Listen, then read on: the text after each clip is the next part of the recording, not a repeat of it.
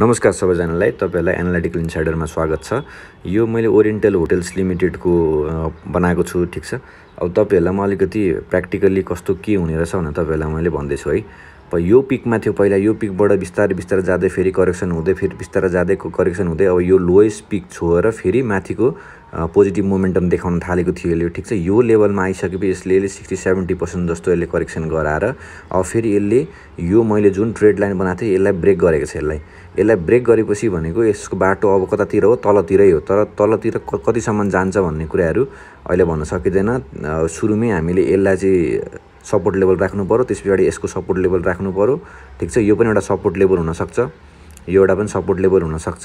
ठिक छ यहाँ आएर फेरि रिभर्सल ट्रेन्ड दिन पनि सक्छ। तबसम्मको लागि हामी हेर्दै गरौँला।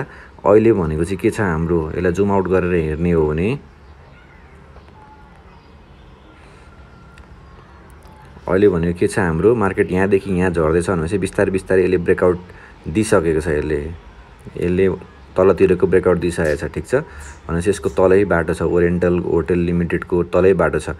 अब पुरै इन्डेक्स हेर्दाखेरि पनि तपाईँहरू के बुझ्नुहुन्छ आज मार्केट डाउनै गइरहेको छ सबै होटल एन्ड टुरिज्मको। इन्डेक्स हेर्दाखेरि पनि डाउन गएको छ भनेपछि होटल टुरिज्मको अहिले डाउन गएको छ फेरि सर्टेन टाइमपछि फेरि अर्को पोजिटिभ मोमेन्टम देखाउला। हामी तबसम्मको लागि फलोअप गर्दै गरौँ है त? हस् धन्यवाद।